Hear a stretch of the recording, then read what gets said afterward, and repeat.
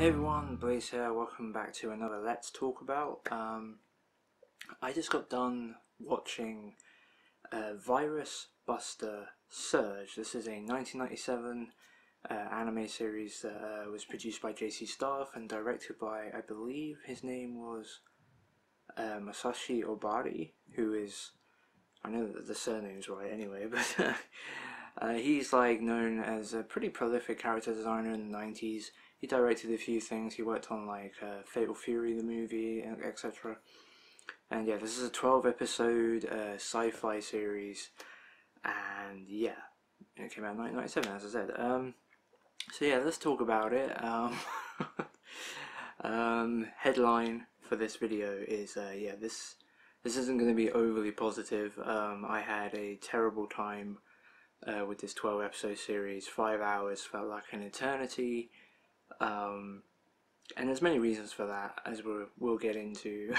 um, uh, it's worth noting before we get into it though, like the key issue I have with this series, I think, is it has a humongous case of like post Evangelion disorder, basically. Um, Neon Neon Neon Genesis Evangelion kind of was obviously very uh, groundbreaking and uh, uh, it basically took what was very much a traditional giant robot sci-fi uh, formula which had been in anime from like the early 70s with like Mazinger Z and you can go way back to the 60s if you like with like um, you know Gigantor or whatever um, but uh, yeah like through the 80s there've been some experiments obviously Gundam came along and sort of matured the formula a bit but then Evangelion eventually uh, came along and basically tore, tore up the rule book and said, yeah, this is going to be like an action sci-fi series, but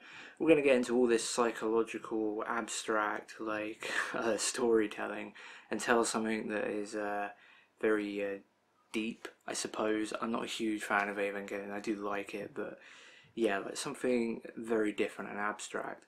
And uh, after that, a lot of series in the 90s and you know continuously going forward i feel like have uh, taken that um, you know that torch and run, run with it and uh, one of the more earlier examples i guess you could say is virus buster serge because this is a series that while its plot can be somewhat explained simply and it, there isn't really a lot of depth to it it decides uh, through in, a, in its storytelling to make it incredibly abstract to the point where this show I feel like is so far up its own ass. it's just like everything is vague. Any like everything is esoteric. Every character goes on giant monologues that amount to practically nothing, and um, yeah, this and the show just suffers terribly for it. So um, where should we begin? Uh, let's just try and basically explain what's going on. So yeah, so it's like set, I think like 100 years, 200 years into the future. I can't quite remember, somewhere around there. And it's set in Neo Hong Kong, which I, I always find funny, this idea that like, I mean, it makes sense when you watch something sci-fi and you see Neo in front of like city like Neo Tokyo, Neo Hong Kong, like Neo New York or something. Like it's like, oh, that sounds all futuristic sci-fi and cyberpunky and you know uh, dystopian future and stuff. Um, I always find it funny is that like at some point when did that change happen? Like did someone just come along like a new freaking like um, mayor of the city or whatever is like I'm gonna name it Neo Hong Kong now. It sounds really dumb, but I suppose in the 90s maybe it was less dumb. You know, I mean, for God's sake, The Matrix's main character was called Neo a couple of years later, and everyone lapped that up. So, um, yeah, but I was always find that a funny thing. But anyway, yeah, it's set in like Neo Hong Kong, and it follows a group of uh, basically like these super they're not really superheroes like this like uh, they're kind of like the power rangers super sentai like that's basically uh, very much what their uh, suits are based on. They're kind of like these, uh, yeah, Super Sentai type uh, characters that go around fighting against these mutated bio monster type virus things, hence the name of the show. Um, and they're not with the government or anything. They seem to be like off to the side, but still relatively powerful. I mean, Neo Hong Kong is kind of like this. Um, Uh, yeah, it's not like like lawless in a way, kinda, not really, but sort of. Uh, it seems very different to the rest of the world, at least sort of. um, and it also seems to be the main focus of these virus monster things that are coming out of people and computers. That's basically, and this is all down to this satellite that is up orbiting around the Earth that no one can get near. I don't. It's one of the things I don't fully ever grasp exactly where it came from. They sort of go into it towards the end of the series, which I won't go into directly anyway. But yeah, they sort of go into it. But yeah, it's like this satellite orbiting the Earth, and it has like this virus on it. So it's called the incubator, and it like sends down these viruses or signals or something that creates all these mutations in computer programs and you know like people have implants in the future so they can get infected as well and they turn into all these bio mutant monster things and start killing people and it's up to like I mean you can very much compare it to Bubblegum Crisis in that regard it's sort of similar when you, you suddenly get these uh, group of characters that all like powered suits and they don't they don't work for the government and all that it, it, Bubblegum Crisis is a pretty good uh, footing if you're trying to understand what I'm saying. And yeah, and this group is called Stand, and like I said they're kind of like the Power Rangers Bubblegum Crisis thing, and that's kind of what the show is about. It's about them like taking down these uh, mutated virus monsters or whatever, and um, trying to figure out what the hell's going on, trying to figure out a way to take down this satellite once and for all before it spreads across before these viruses like spread across the earth because I'm pretty sure like the satellite is mainly focused on Hong Kong for now but there's a greater um, chance of it eventually sending all these signals and creating all this havoc uh, around the rest of the world as well and um, while I'm not sure I probably explained that as well as I could have done it all could be relatively simple when you think about it like you've got a group of heroes that take down these mutated monster things. And over the course of 12 episodes, uh, they eventually discover a way to take down the main satellite, and Bob's your uncle. End of story. Happy ending. Like they they save the world. Like and like uh, the show could so easily be that, but again, going back to the Evangelion thing, instead, almost every episode is filled with vague pointless talking out of your ass, like psychological, abstract stuff about. The, I don't actually know what any of it was about. Like future, humanity, fucking soul searching. I don't fucking know. Like there was all sorts of abstract shit going on. Like at no point throughout the first nine episodes does anyone really spend the time to explain anything that's actually happened. Like you can follow the basics. Some of the early episodes are relatively easy to follow say relatively, you kind of have to just have to forego the fact of like, oh, okay, okay, I don't know where these monsters are coming from. What is this satellite thing? What the hell's happening? But other than that, like the very basics of they're going over here, they're going to take down the monster. Okay, you can follow that. And then around like five, six, seven, eight, and nine, it's sort of they're still doing similar things, but there's a lot of other stuff going on. there's like callbacks to things that you're just not really aware of at all from characters that go on long two minute, three minute spiels, and it's it, the show brought out of me possibly the worst emotion you can ever have towards anything, especially like uh, any anime at least, and that is apathy. I just didn't care. After a while, I just, I just didn't care anymore. I just characters were worried about something, couldn't give a shit. Like the show was incon, like inco, inco, yeah, incoherent. Didn't care. Like whatever, didn't matter. Like. like, was it was part of the show funny? I don't know. Whatever. I didn't care anymore.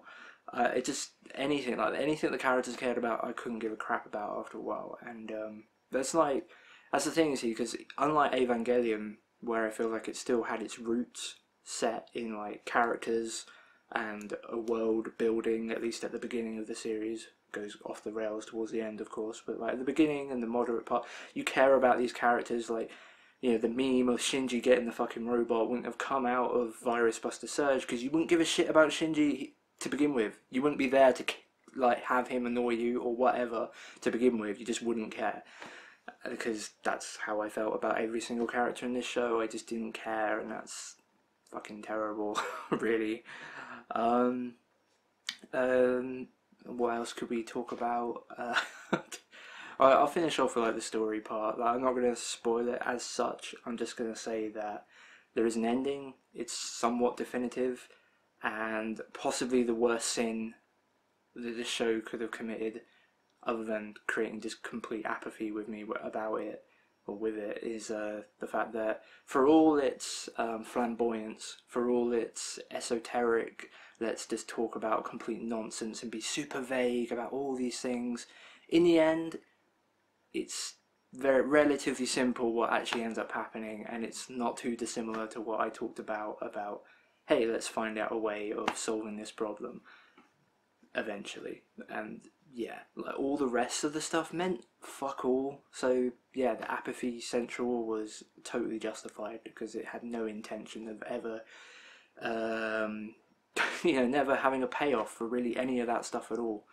Um, so yeah, it's I ended up giving this show a two out of ten. I thought it was horrible, uh, damn near appalling, um, just completely pointless.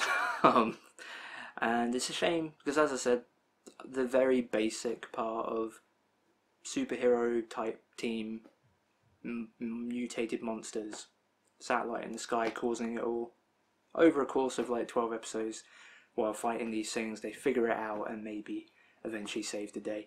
Something like that, relatively simple. They could have been cool, and if you had the world building and the characters to back it up, it could have been an okay show, if not maybe a good show.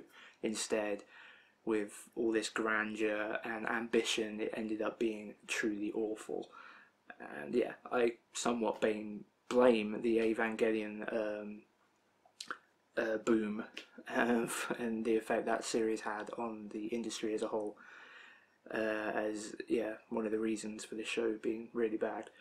Um, also, the the story, like clearly with all the the grandeur that they wanted to do with this show, the, the show just at twelve episodes, it's not long enough.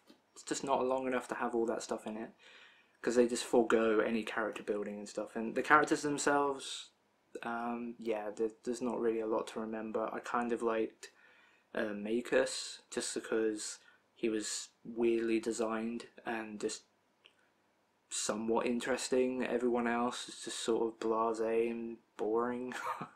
just didn't care about any of them. Um, the character designs, the lead director of this show, one of his main um, things he did in the 90s was character designs and uh, yeah I just didn't really like them. Honestly the, the females have giant eyes. They look like wasps with these huge eyes that are absolutely ridiculous compared to the rest the proportions of the rest of their face. And obviously they have ridiculous like bolt on breasts and ridiculously thin everywhere else and all that crap. And that's not too dissimilar to a lot of other anime but the eyes in particular on the females are really weird and like the snaggle tooth, like sometimes we get like a one tooth sticking out. That's like, like a um, cute thing, I guess. Uh, you you might see it on like one character every five or ten series nowadays and like maybe uh, like 10 15 years ago it would be slightly more common but in this series it's on practically every female character and it's kind of weird um, and then you got the guys which also down down near look anorexic despite their mus- muscle muscly proportions and stuff they're just super weird like and a lot of the times they like to stand they're kind of like you know how jojo has all like the weird way of standing and stuff? Like i feel like this show had a lot of that and they just the poses and the stances the characters take while looking they just damn well look ugly. Like it's certain camera angles i guess. Perspective everything just looks super weird and gross um, and yeah, in the show, like the animation, um, I kind of like the colors of, I especially like the power suits. I thought those were real, really cool. I think they're called like variable, variable gears, variable gears. They were called. Those look really cool. They kind of like remind me of um, upgrades on what you might get for like Gatchaman or Casshan or uh, Hurricane Polymar, that sort of thing, where it's like a mix between just a normal uh, suit but with a little bit more chunky uh, plastics or metals or whatever. Like they, they're kind of like a mix between a human mecha like Bubblegum Crisis thing and like something more like Gatchaman and Casshan and stuff. I thought they looked really really cool and I kind of like the animation of them getting in their suits, sort of like uh, they're kind of like this more.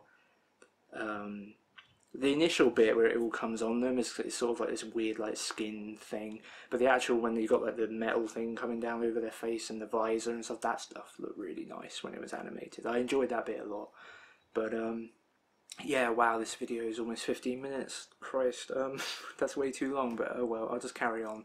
I'll try and cut these down next time. But um, what else was there I really liked? Um, but yeah, I well, where was I? Something about the bland animation in the background. Yeah, like the backgrounds were terrible. Like they were so lifeless. Everything was so grey and plain and blue and greeny. Grey. No detail whatsoever. I felt like ninety percent of the show took place in a fucking submarine. That's what it felt like. The whole thing was just lifeless. Um, I like the eye catches. Um, you know the, the little pictures we get where the adverts would have been. I thought those looked really cool. They're very 90s. I like those a lot. Uh, they're, they're the sort of thing that I, sort of artwork I really really like. Uh, I thought that stuff looked really cool. Um, the opening theme was really good. Um, I like 90s uh, alternative rock and all that sort of stuff, and I, I like the um, opening a lot. Um, I think that's it really. not a show I would recommend, obviously. Uh, it's not worth your time in the slightest. Uh, Virus Buster Serge was a train wreck, um, and something that Evangelion is, in my opinion, partly to blame for. I mean, this show is so clearly inspired by it because uh, you know, like the big angel sequence in the Evangelion movie and stuff, and all the stuff with um, Adam or Eve, like underground thing in the TV series. There was a there's a specific shot right at the end of uh, like the last couple of scenes that are in uh, this series that very much mimics pretty much all the color, the design, everything. It's like it's such a blatant rip off, and it's sort of like okay, you've sort of worn it on your sleeve this whole time, but now you're just telling everyone, it's like, hey, we saw Evangelion too. Great. Whatever. Anyway, yeah, Virus Buster Serge.